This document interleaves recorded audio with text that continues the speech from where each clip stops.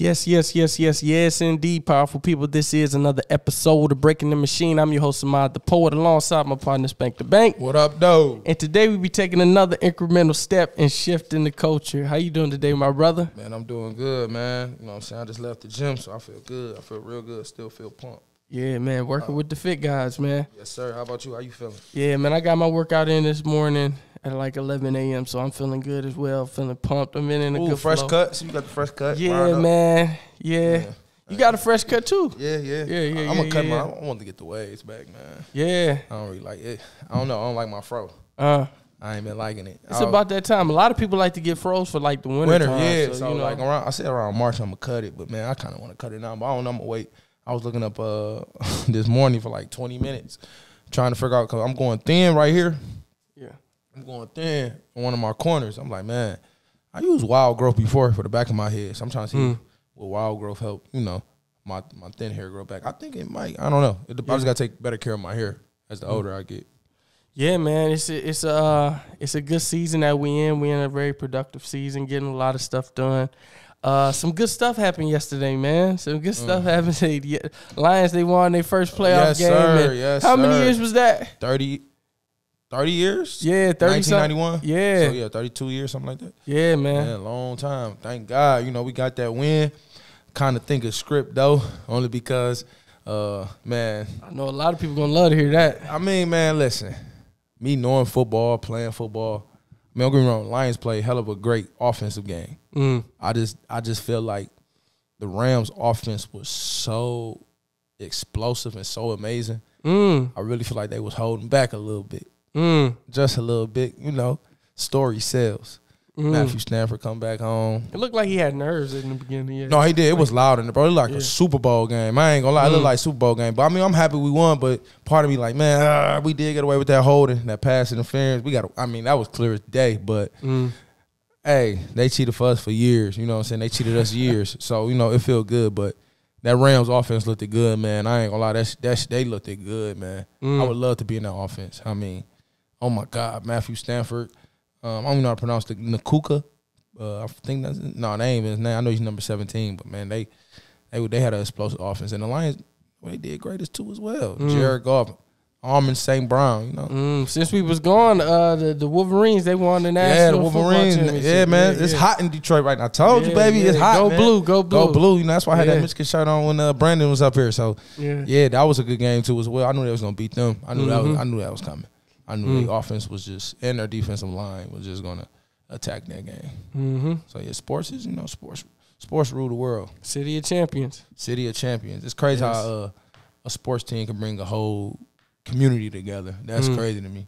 That's crazy to me. You see how they tore up Ann Arbor though? Who? Oh yeah, the, the city like the, Yeah, the yeah, party. they was- and- yeah. I don't- I, I yeah, they tore that. they was knocking down stop signs and all that stuff. Mm, I'm like, damn, it, it ain't that big of a deal. I mean, it is though, but yeah.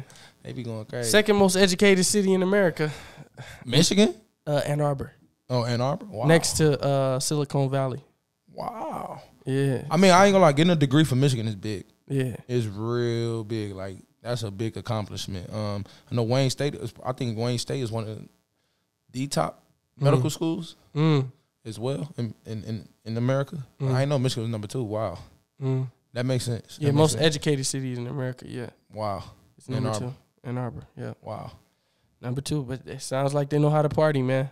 Yeah, they do. I've Yeah, I, wa- I wanted to get into the topics though. Uh, yeah, we got a lot to talk about. I know you. We, we was talking the, uh, the other day about the Stephen A. Smith stuff. yeah, man. Get, kind of give me the breakdown on this, man, because I'm not really familiar. So- I, I did watch it. I did. I watched it. I, I you watch watched maybe, Stephen A. Smith or you watch Jason Whitlock respond? I response? watched Stephen A. Smith. Okay. After I, I watched both. Okay. You know, I watched Stephen A. Smith rant, Okay. and man, There's a few things going on in the world of sports that need to be addressed, but on this particular day, they don't take precedent. Instead, one would be a fat bastard that has gotten away for far too long talking his bullshit. You wanted some? Fine. I'm happy to give it to you, you piece of shit. The Stephen A. Smith show up next. I'm supposed to be covering sports, but I make a career out of talking about my colleagues. That ain't work.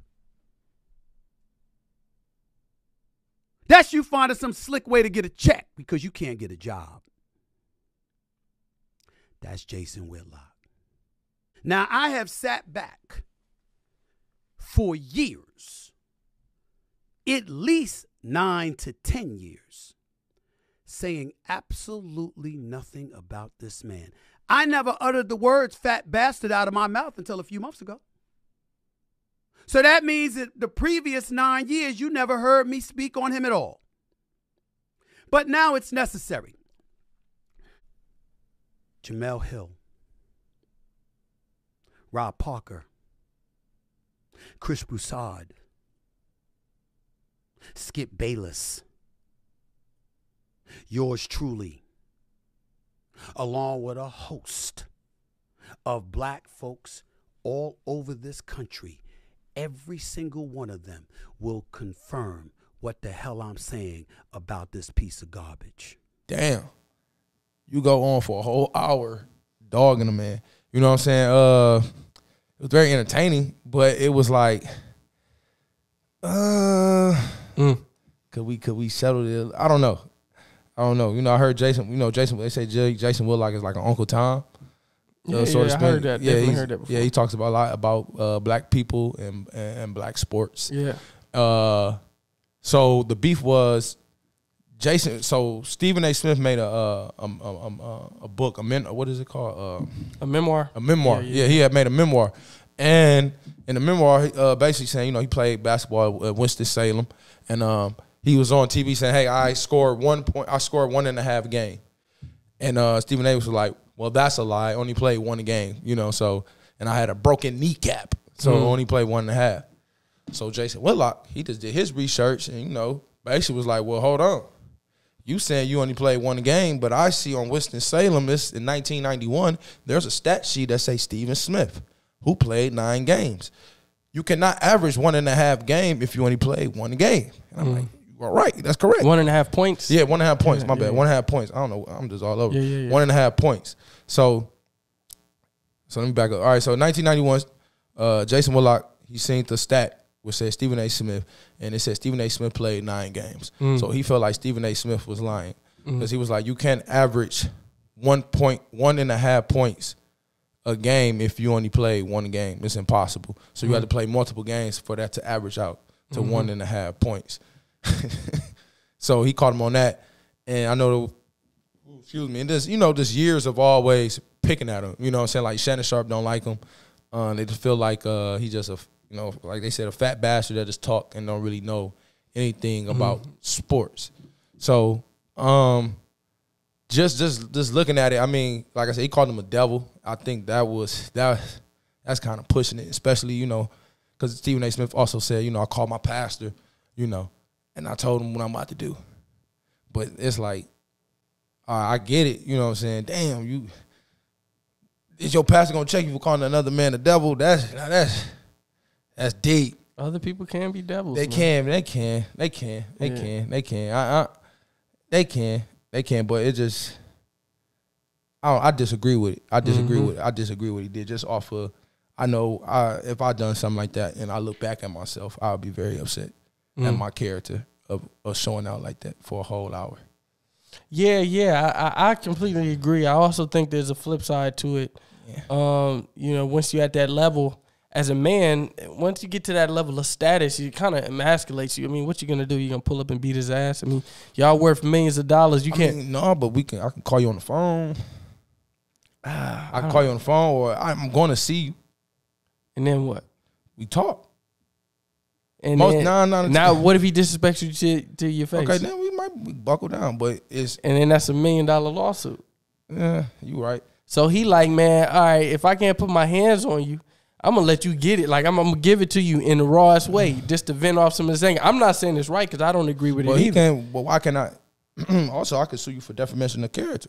You, you destroying my character. You calling me the devil, and it's it's evidence that you're saying this. That's another lawsuit. I don't know if that's a defamation of character because he didn't really say anything about his character. You you called him a devil. What? That's a character. That's you call him. You call me a fat that, that, bastard. that that is a character. Fat bastard. That that's like a descriptive thing. I don't know if that's defamation of but character. but that you fucking That's with like my character though. That I, I don't know. That's that's like saying you do something that you don't do. I feel like that's a defamation of character. Saying you do things that you don't do.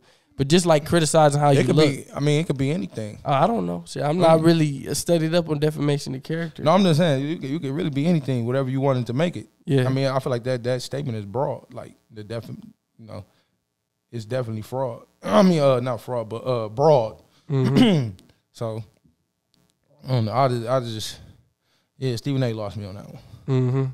He lost me on that one. Yeah, I, I understood where he was coming from just watching it. Uh, I, I don't think it was the best approach. I just think he kind of let the emotions get the best of him. I mean, it sounded like he'd been dealing with it for years. Yeah, they said And, uh, you know- said men ain't emotional. Who they? Uh, I just read an article said, and we say men aren't aren't emotional. Mm. I mean, they talk about Cap, you know, Cap Williams, Aaron Rodgers said something, Stephen A. Smith. Mhm. I mean, you are seeing a lot of men out here having these emotional rants. Mhm. You know, so we we are emotional. I mean, it's it's become a, it's it's a rise of uh, a lot of people want a masculine man. That's what they want. You know what I'm saying? They, they they so now it's become a rise for the desire for that because a lot of men have become emasculated in a way. So now it's just like when you have the Pat McAfee's and you got these people who Yeah, are Pat out here and doing their thing. It's just like I like him because he doesn't apologize or he doesn't he you know he has a no bullshit approach. Like he just straight you know straight with no chasers. So a lot of people like that. A lot of people like what Stephen A. Smith did because he came at him raw and it's just like man not doing that anymore. You know I was watching some content. I've been watching some content by this one dude all day. I think his name's Andy Elliott or something like that. I, I believe his Andy, I heard of that name. I just can't think of the face. I believe his name. He's like a bald head white guy, uh, super jacked. Andy Elliott. Oh and my he's God. like he's I like a talking about. training coach. Like I know bro, you're talking about. Oh, this- Andy, that's my guy. Bro, he this said you dude- gotta have sex. Supposed to have sex uh, four times a, a day or six times a week. Yeah, he was saying something like that. And also, he talked about how he uh, his wife hated him or something. He worked out for four hours, something like that. I got his book. I just bought his sales book. Andy Elliott. Bro, I, I didn't see all that, but that's intense. Like, Yeah, yeah. I just was seeing videos of him like doing Hardcore. like, yeah, I was just seeing him doing training seminars with other dudes. Like, he had, he he was talking about this one thing, and he was like, uh, yeah, so I go in the house and I just I make myself at home, and I just you know get everybody involved, and I, I'm just really relax myself. So he's like, I go in the house and I'm like, hey man, how you guys doing, man? You got a beautiful house here. Um, yeah, so we, we can sit down and we can have the meeting in the living room. Oh, how you doing, bud? And he's like, okay, did anybody want some water? Where, where- where's the glasses at? And he's like, no, no, no, sit down. I'm gonna take care of you guys. Where's the glasses? I'm pouring the water. And then one of the dudes in the sales seminar was like, you do that in every house? And he's like, yeah, I do that in every house. He's like. He said, he said, dude, dude, stay with me right now. Stay with me right. Why did your mind just go there? Why did your mind just go to how is that not possible to do that every single time? He said, I, and then he said, so I forgot what the fuck he said. He's like, uh, I can't. Did you see? Did you see the one when he talks about uh, from scale of one to ten? How is your sales? How is your sales uh, approach? Mm. I saw him do a lot of like rating people's sales approach and just like sitting there and, and just seeing if they could like pitch him an idea. But he was like, at the end of what he said, he was like, shut the fuck. He told the dude to shut the F up. It was hilarious, man. It was hilarious. I'm like, bro, this dude is like hardcore, man. You Yeah. can tell he's just wired different. Like, That's crazy. We talking about this early. I was gonna wait, but I uh, I was reading this book again, "Winning" by Tim Grover, and uh, last night I read a chapter. It said, uh, "Winning isn't heartless, but you'll use, but you'll use your heart less." mm, So, uh, I'm trying to think. wow. Yeah, I'm trying to think. I was part- it's crazy because at the beginning of the show I was about to ask you, man. I want to do a new segment called like quote of the day. So that's a good quote. Yeah, it is, That's and, good and it's so great. This chapter is Mm.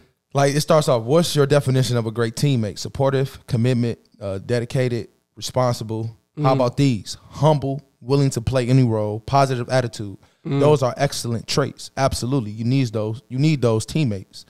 Now, you know. Then he talks about. Now, here is a slight difference take from Kobe in an interview about being a teammate. You Mm. know, if you're going to lollygag through this scrimmage, through this drill, I'm going to beat you. I'm going to Mm. let you know I beat you, and I'm going to know you. Uh, and I'm going and I'm going to want you to uh, recognize your professional life choice. And for the most part, people will say that doesn't make a great teammate. Well, I'm not here to be a great teammate. I'm here to help you with win championships. So that's like one thing Kobe said. But one thing I really like out of this, it was um, if you want the actual formula, it looks like this: mind over feelings.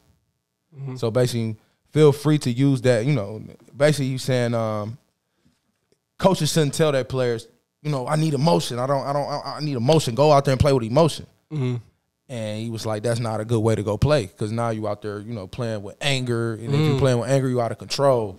He's basically saying go out there and play with energy. You know, mm. that's a better way to to to use it instead of emotion. That makes sense because I just hooped a couple weeks ago and I played off emotion and it went very left.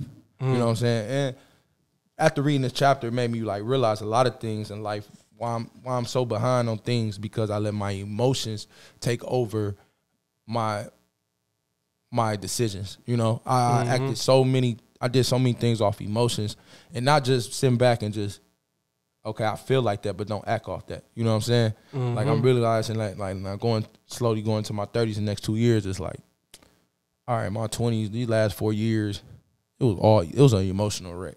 From mm. 2020 to now, it was been, it's been an emotional wreck. I've been on an emotional wreck.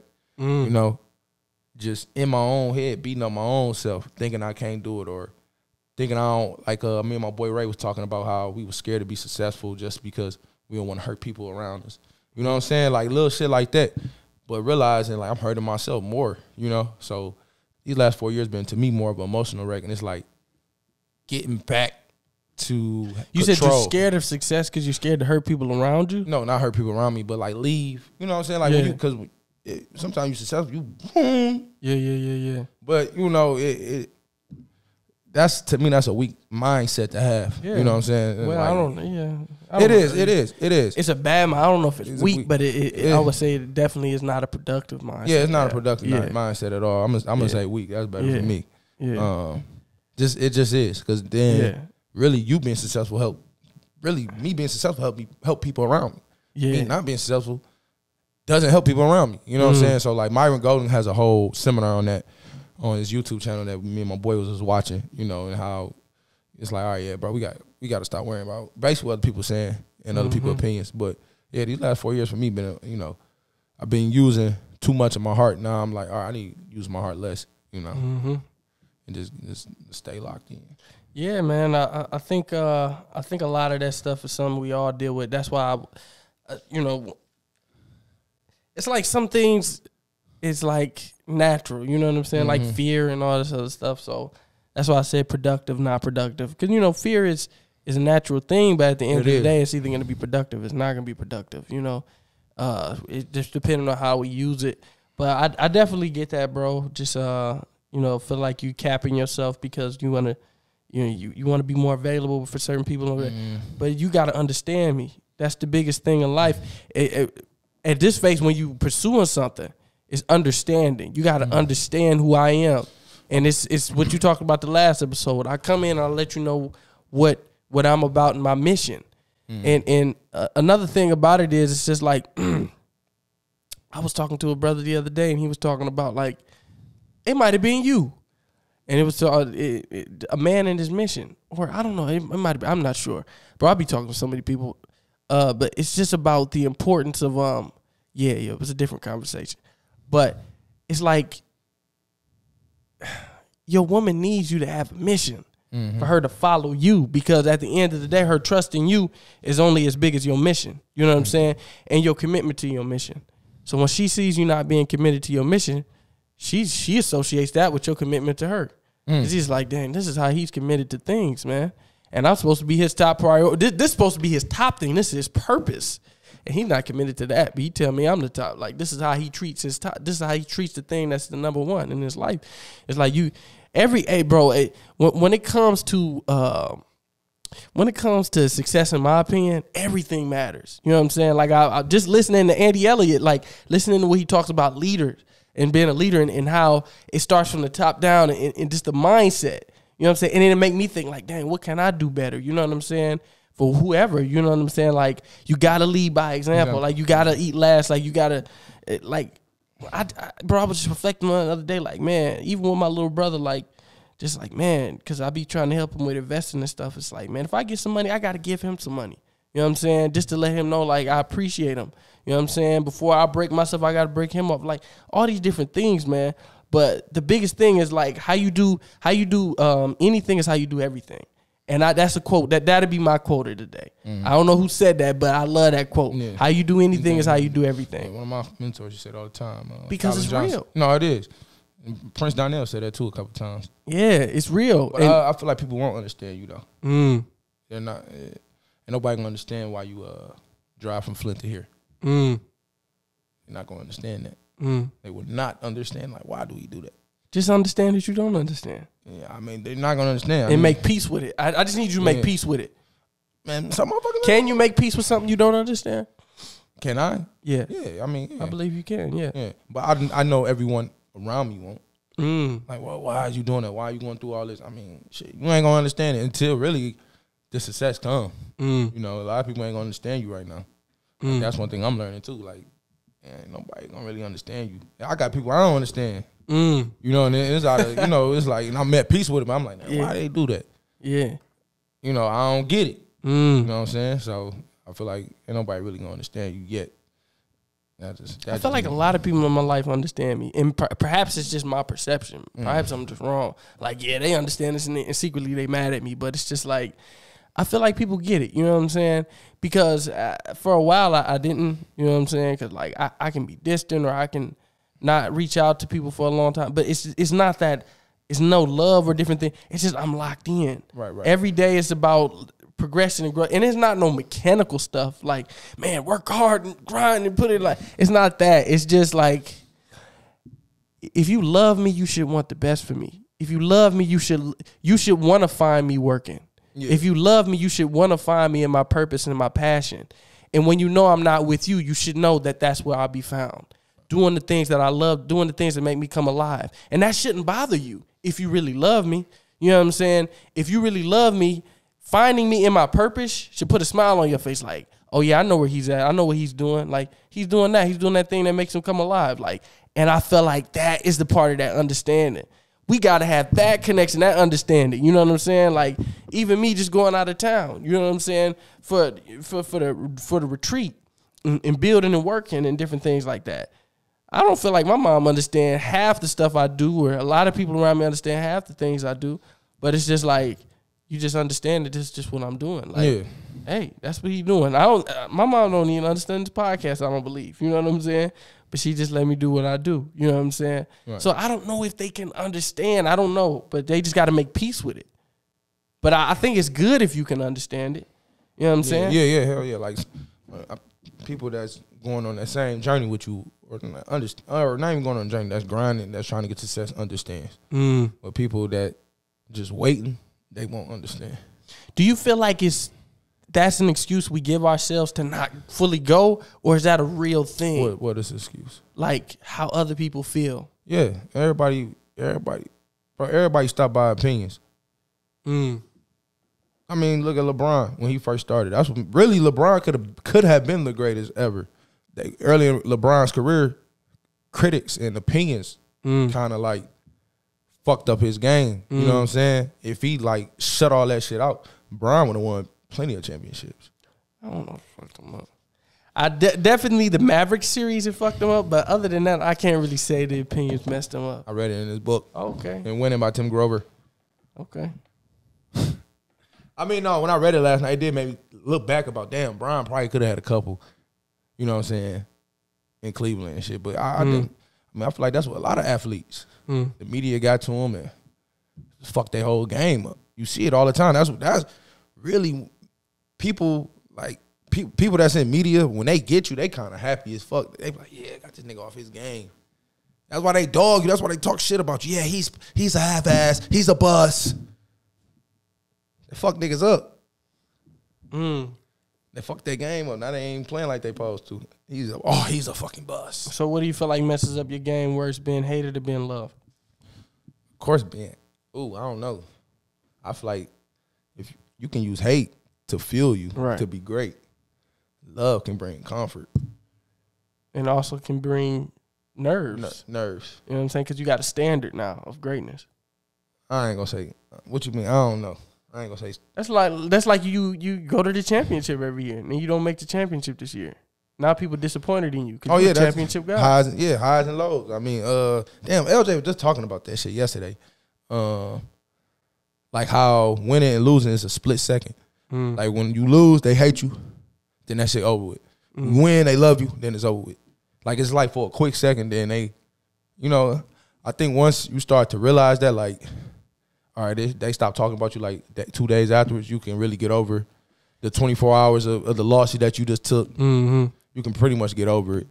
You know what I'm saying? But I just feel like we throw around that word loosely. They never loved us if they can get over us like that. uh, yeah, I mean, of course. They never loved us, man. I mean, of course. I mean, They just love what we did. They yeah, didn't love what we do. Yeah, yeah, yeah, You know yeah. what I'm saying?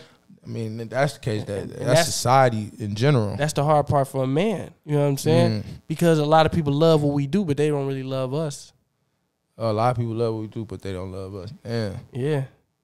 So now it's like we gotta constantly be incredible at what we do to keep feeling that love.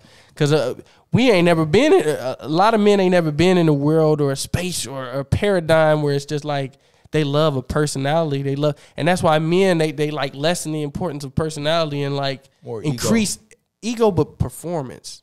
Like for a lot of men, it's not even about personality; it's about performance. So now the personality is so low. You know what I'm saying? And I ain't saying Andy Andy Elliott is is like, but you could tell he's intense, man. Yeah, like, yeah, yeah, he He's is. intense. I mean, he is, and you got to be a a mentally tough dude to Mm. be, to be around him. Mm. You know what I'm saying? Mentally Yeah, tough yeah. and to understand what he's saying. Yeah, It does seem like he coming at you and stuff like that. But no, he not. But like to be around them type of people, like damn, I go back to LJ. So on Wednesdays, we in the basketball league. We won a championship uh, last season, like in December. So we doing it again. You know, I'm like, man, bro, I ain't got my car right now. Mm.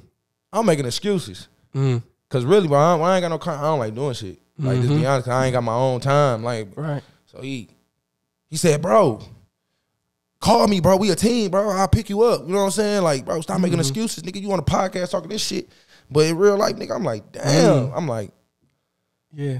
I'm like, all right, bro. All right, yeah, come pick me up then tomorrow. You know what I'm saying? Like, it's Yeah. just one, I don't wanna I don't wanna ask niggas like like, bro, all right, come get me, bro. You know what I'm saying? I don't be that's just me. Like Yeah. that's I'm the me. same way. Yeah, I'm just me, bro. That's just me. Ain't but it at the end of the day, I still gotta show up for my team. Uh-huh. And that's when he made me realize, like, damn, no matter what you're going through, bro, you still gotta show up. You still gotta go to the gym, nigga. You still gotta go to work. You still gotta, nigga, the show go on no matter what. I'm like, damn. He said you was gonna hoop. He said you gonna hoop. You gonna hoop? I'm like, yeah. I'm, like, I'm gonna hoop with you. You know what I'm saying? He's like, all right, nigga. Call one of us. We'll come grab you. You and the baby.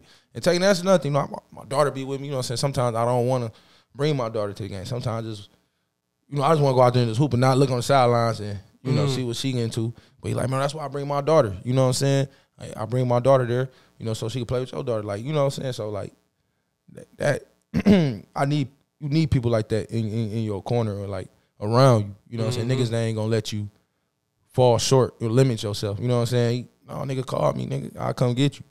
You know what I'm saying? Most people would be like, man, this nigga. Most people can't take people. Most people can't take people being hard on them. But since my father was hard on me, it's kind of it's real easy for me to take Mhm. that type of that type of like talk or that type of criticism because I'm used to it. Like my dad was always hard on me, so like that shit really be easy for me to understand and take in. A lot of Mhm. boys don't get that. You know, a lot of them don't. A lot of them don't. Yeah, it's important, man. I think it's it's it's important to have people who call you out. Like when when and that's kind of what I asked Beck when he came on. Like, how do you know when somebody is giving they all and when somebody is just like kind of like doing doing a little bit less than what the what what their maximum is? Like, how do you know the the difference?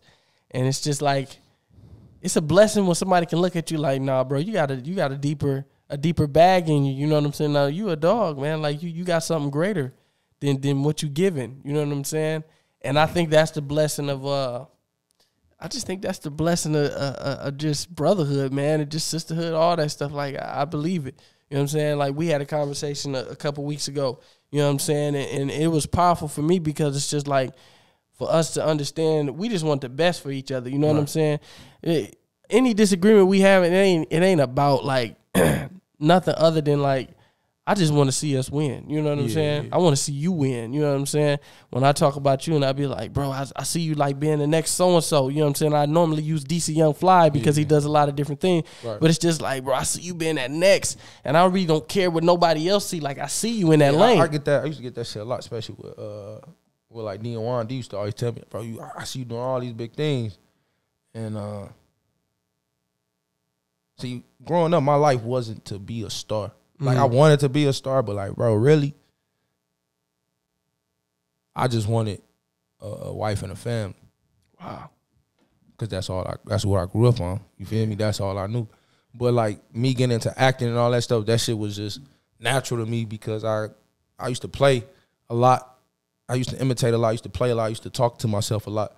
And I had a big ass imagination as a child. And like I used to like really like watch a lot of Michael Jackson videos. So I always knew how to get a stage or how to entertain. Mm. That was just something that I was natural. Like I never really saw myself taking it far, you know, till now. Like till really I got around like my homeboys from, from college. And um, but like, bro, I was in my mind, nigga, I go to college. I had that simple American dream. Not even American dream. I just had that shit. Nigga, I go to college, make some money. I got a wife and a family, wife and a family. You know, Mm. Was at the crib. You know If you had an ideal role, what would you feel like would be your most impactful role? in a in a movie, Yeah. If you could have any role, what would you feel like would be the most impactful? Something that you I want to be the main. change? Uh, like what type of? Go ahead, explain it again. Just impactful, just in terms of touching people, in terms of like really making like a, a, a, real impact. It could be with anything. You know what I'm saying? A lot of people made impact in different roles. I feel like American Gangster was an impact. Oh, yeah, feel like Ghost. Seven pounds was an role.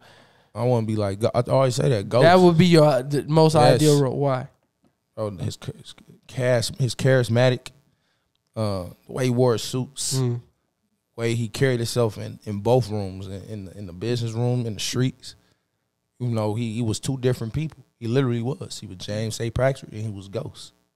Two different people. Mm. But if you fuck with him, you might get both. You you don't want to get Ghost. That's the that's the one he hiding. That that's that that's the real killer. Like that's the one that's yeah. But James is you know hey how you doing? You know what I'm Mhm. saying? The club owner like it's just I just love how you can just switch it on and off. You know and how you just man how he carried himself. I know a lot. It's sometimes you be like damn James James hey Patrick like Ghost was a whole ass nigga in certain certain episodes. I be like all right, but um.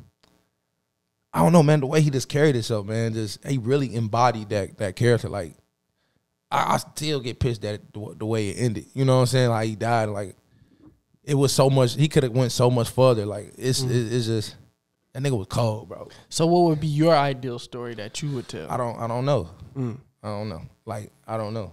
I had that. That's like I, I don't know. I, I had plenty of movies I thought of, but like uh, that's I don't know. That's a good question. Um. What do you feel like there's a story that hasn't been told on the screen yet that's a, a powerful, impactful story? Uh, I feel like there have been. A, lot- I feel like every story pretty much been told. Only story I thought about doing is a lot of it- stories ain't been told. I feel like uh, uh, I feel like I want to do a story on David, King David from the Bible, if anything. I feel like that haven't been told, but in a you know in a, in a hood modern day type of it ain't got to be hood. well, it got to start from the hood, but he end up being like the king of the other other projects or something like that, or like not even like he changed his whole. You bring all the kids, all the people out of the projects up, whatever, put them in a new neighborhood, whatever. You know, I feel like King David would be a good a good story, a good movie. Mm, I like that. It would be a great movie. I like that. Speaking of movies, uh, talking about King David, taking it back to the biblical sense. Have you seen that? Uh, the new movie. Color Purple. No, with Lakeith Stanfield. I saw it yesterday. That's why I'm like Lakeith surprised that I'm drawing a blank. Um, it's called Book of Clarence. Yes, Book of Clarence. Have you Man, seen? I want to watch it. I want to watch it. Man, Uh, whoo. and it's what they got the uh, they like in the old times. Yeah, biblical times, man. If you haven't seen that movie, please go check that movie out. It's That is good. a phenomenal movie, in my humble opinion. I believe it. I mean, I could tell. And since I remembered just now, make sure you leave a like, comment, and subscribe on this episode. If you are listening on YouTube and if you're on Apple Podcasts or Spotify, please leave us a five star. Back to the show. Yeah, no, bro, that's an excellent movie, bro. Absolutely excellent movie, man. And I, I think it might be a different perspective if you watch it from a Christian perspective because it deals with a lot of things with Christianity and stuff. So some people might be offended, some people might absolutely love it. If it had to deal with the times of Prophet Muhammad, maybe I might feel offended. I might, I might like, I don't know. It's, it's in the theaters. Yeah, it's in the I'm theaters now. check it out. I'm, I'm actually I'm off tomorrow. Yeah. Another store snow, snow uh, snoring. So I might I might check that out tomorrow. Literally, Yeah, bro. I might I might go try to check that out. Bro, that is good. I might see it again. Like, bro, I'm talking about that. That was a good movie. It was basically, it just it, it makes you think about so many different things in terms of like um the story around the story. You know what I'm saying? Like it just make me think like imagine like you're the most like you have such an impactful story. You know what I'm saying? Imagine this, right? Imagine imagine like 5 years from now you're the biggest actor in Hollywood. You know what I'm saying? And everybody's just talking about, you know what I'm saying, Corey Davis and everybody's talking about all this shit that you do, you know what I'm saying? And it's just like I'm like, no, nah, man, me and Spank, I mean, me and Corey, we used to be in a in the studio together. You know what I'm saying? We used to drive up and get shit to eat. We used to do all this shit. Like, I might have a completely different story, smaller story to your bigger story.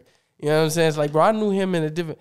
So that's basically what it is. Like the story of Jesus, but it's not really the story. It's like the story of Jesus from a different angle, from a completely different person. From everybody that knew him before. He yeah, got, yeah. got some- Before which- he became big, idol. the, the, just like any other celebrity. But it's told from this uh, perspective of this dude Clarence. Like it's it's about Clarence's life, and it just basically parallels Jesus's life. Like Uh-huh. I gotta watch Jesus, that. Jesus is just like this dude. Like he's not Jesus, and he's not Jesus because Jesus, he's not what he is today. He's just this dude who's going around performing miracles, and there's like stories about him. They might see him in the street or something like this. Like, oh yeah, that's Jesus of Nazareth. Like that's you know, okay, yeah. I'm gonna check that out. Damn, I didn't want to check that out tomorrow. Bro, it's good, bro. Yeah, it's this quote in the movie, bro. It's on my phone, so I can't get to it right now. But it's this quote that happens. I believe the dude, bro. It's Jay Z, the producer of it, right? Jay Z. Yeah, I believe so. It, the one actor from um, uh, BMF, the the the evil the the the, uh, uh, the villain in BMF, Lamar. Lamar. The dude who plays him, he did an excellent job in that movie. And it was this certain part, it was this part in the movie where they try to kill this dude. I believe his name's Baracus, if I'm not mistaken. This this big, you know, African slave who's now been freed and stuff, and how he just sticks up to the Roman soldiers. And uh, I'm not gonna give it away because I really want people to watch it and enjoy it. But like, it was a powerful scene, just seeing like the black people persevere and then for them to stand up and just like the monologue that the brother gives um at that part i was just like man like Yeah, I'm gonna check that out. I want to check it out tonight. bro like whoo I heard uh, a foreigner, some foreigner director supposed to make a Jesus movie. and Jesus supposed to be black. in that movie he was black uh, jesus was black in that movie and he was a foreigner the, the brother who made the movie was, you probably Okay, talking so about yeah, book, of clarence Yeah, yeah, you yeah. probably yeah. talking about book yeah, of clarence that's why I want to watch it. Okay, yeah, I want to watch it. Uh, oh, I want to hear uh, critics on that movie. Yeah, I, that's I, what- I want to listen to the critics and see what they have to say. Yeah, I haven't heard them yet. I, I I saw the brother on 85 South Show. Shout out to 85 South Show, and he was talking about it, but I didn't really uh, um, see no negative reactions. I just heard them kind of talking about it. like people in the Christian community might not like that because they kind of do a different like. You got to watch the movie to see it, but it's a genius storyline in terms of just showing like how an original story of somebody can get like misconstrued. Once you watch it, you'll be like, "This is genius." That brother did a genius job. I recommend everybody go see that movie. That movie was I, I recommend it. That movie was incredible, man. And but it just really makes you think about the power of your story. You know what I'm saying? And the story of people around here. Like, you know, there's people around here that's gonna have a sub story of your larger story. Yeah, that's why I feel like that's why you got to treat Treat people right. right. Yes. Cause Woo. somebody, man, man, that nigga did some house shit to me. Mm. Yeah, buddy. Mm. Yeah, buddy. That shit backfired like a motherfucker. Yeah, man. And then it goes back to the Stephen A. conversation, man. You got to treat people good because you never know who they're gonna end up to be, man. Never know who people gonna end up to be. Oh, facts, facts. You never know the people, you know, the voices people might have, you know what I'm saying? And all like uh um the power people might collect. But I did want to ask you in closing, man. We was talking about this conversation of uh welfare. You know what I'm saying? Oh, saying? yeah, yeah, And and, yeah. and we was talking about, you know, it, it could society operate without welfare? What's your thoughts? Hmm. I'm I'm not asking that, that that's no, not no, the right no, question. No, no, no, no, that's a great question. Could society operate if welfare dropped today? I know what society could operate without welfare, but what would be the effect if, like, tomorrow there wasn't welfare? Oh welfare? my god, motherfuckers gotta go to work. Yeah, They can't pimp, pimp the system like that no more. Um, it'd be chaos. It'd, be, it'd be chaos. There's a lot of people on welfare, bro. yeah, It's a lot of people. Yeah. It's a lot of people, and uh, you could tell by this riding in different cities who on welfare, who really ain't. mm. Um, but yeah, it's, it's it, it will.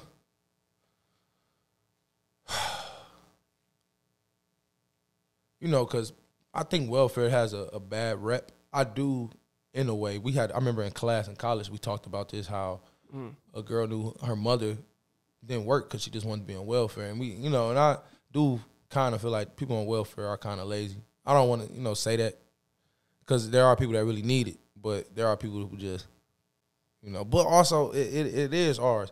That's a whole different conversation. A whole different conversation. I feel like we man we need a, a consumer law person on Mm. you know, one of them type of brothers that be talking about uh, them sovereignty brothers, because it, it, it, it's it's uh that's deep. It's a deep conversation. It's a deep conversation. It's a deep ass conversation. That's a deep ass conversation. Um, because technically it is yours. The welfare, Mm-hmm. it is yours.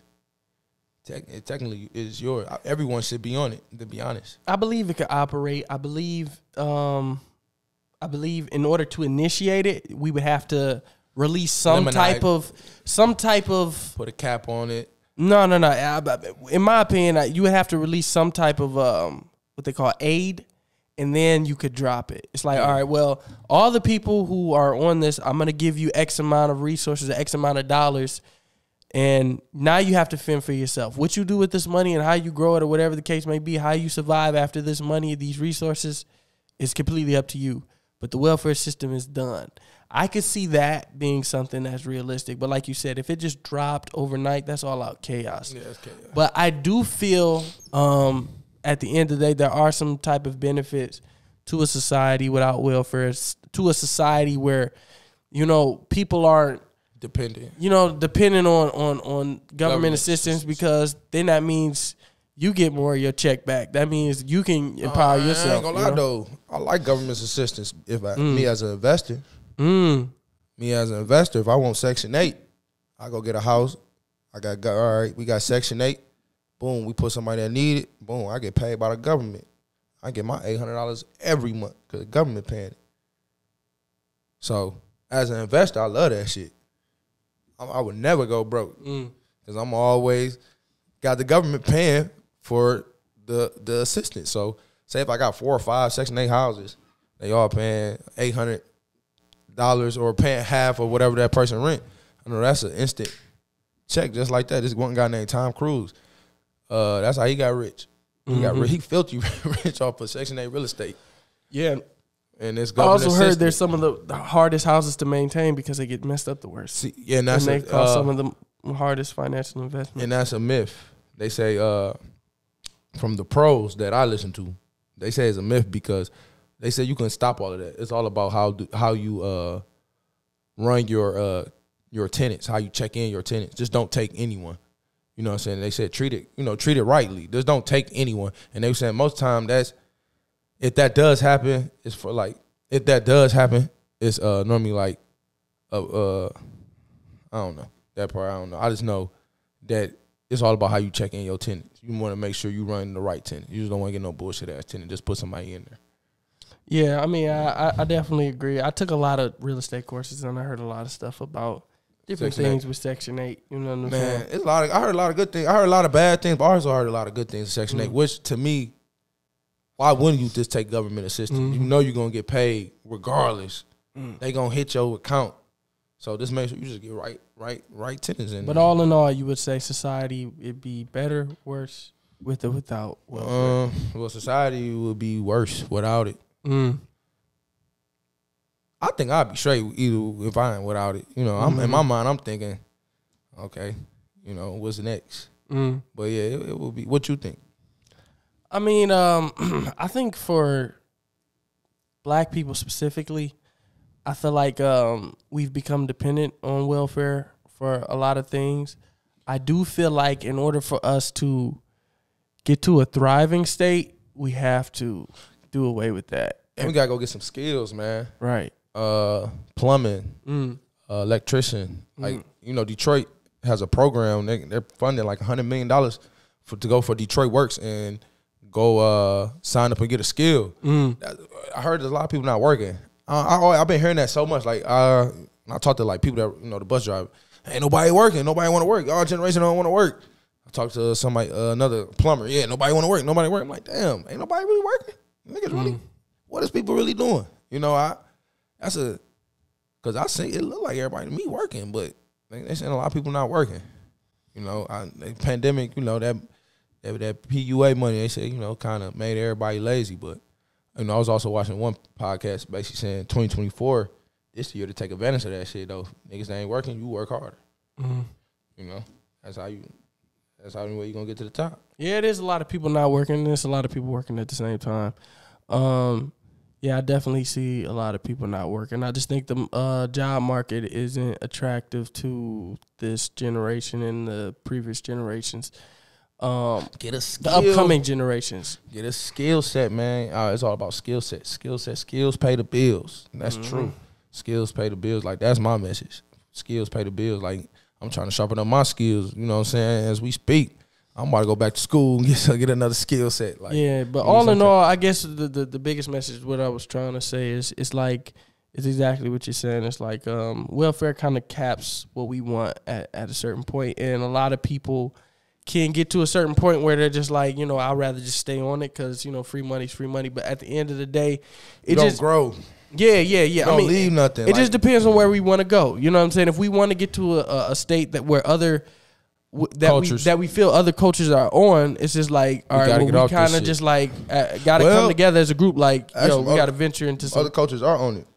they are, but I think it's more so about But they- being able to use your resources. No, like really, you can be on it.